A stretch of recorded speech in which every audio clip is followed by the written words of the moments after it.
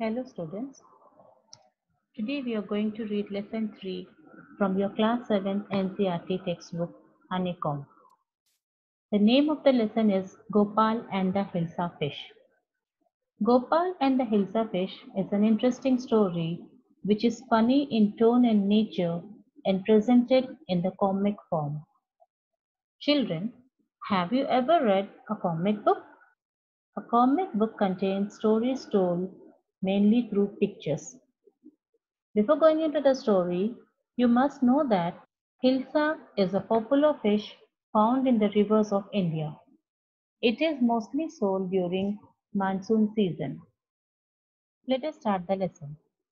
The season of hilsa fish was going on everywhere as we have the season of mangoes in summer.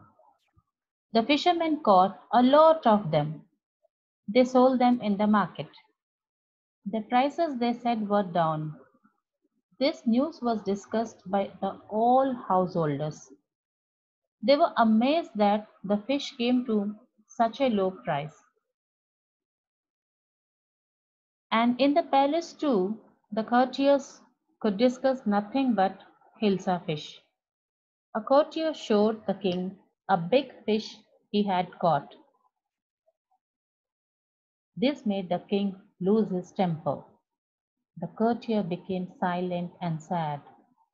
The king realized his mistake. He told that even Gopal couldn't stop anyone from talking about Hilsa. Gopal protested. He said he could do that.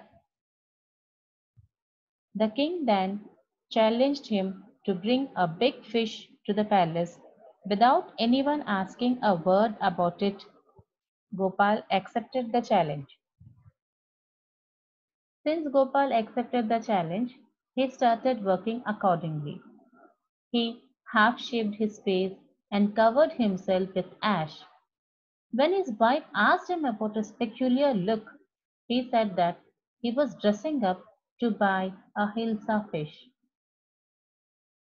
He put on torn clothes his wife stopped him from going out in those disgraceful rags.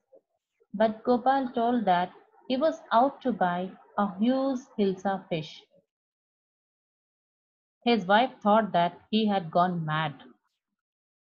Gopal bought the hilsa fish and started walking towards the palace. A child cried that the man was comical.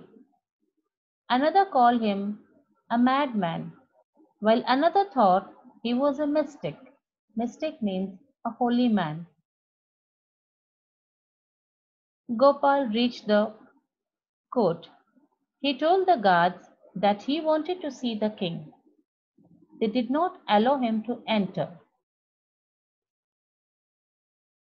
Gopal began dancing and singing loudly. Inside the palace, they reported the matter to the king. The king ordered to bring the man before him. Gopal had introduced himself before the king. Some said that the man has lost his mind. But the king recognized Gopal. He asked him why he was dressed up in that laughable fashion. Gopal reminded the king and told him that from the market to the royal palace, no one had asked him a single word about the Hilsa fish. Only then the king remembered the challenge he had thrown to Gopal. He burst into laughter and congratulated Gopal on his achieving the impossible once again. So, dear students, the moral of this lesson is that nothing is impossible. We need to be smart and witty at the same time to be successful in any task. It is us who lead ourselves to success or failure. We should not give up before trying anything.